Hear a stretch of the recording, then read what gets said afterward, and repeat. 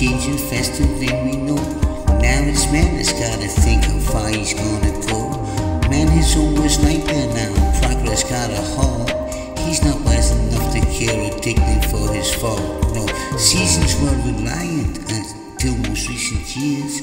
If we accept these frightening facts, we gotta face our fears. No roses in November, daffodils in June. Will the foolish realize the end is coming soon? Now, takes the soil from the earth and burns it in the sky. And when all things that do go wrong, he tells another lie. Maybe it's too late, seasons blend into one. Now we all shall meet our fate, the sapien is done. Now, Mother Nature's acting fast, fixing what went wrong.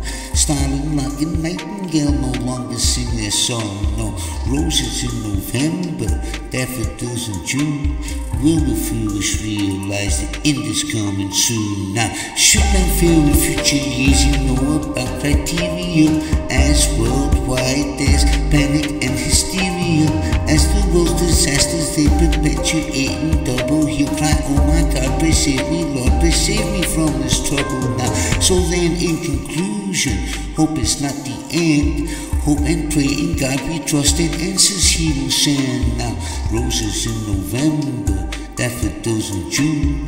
Will the foolish realize the end is coming soon? Now, roses in November, daffodils in June.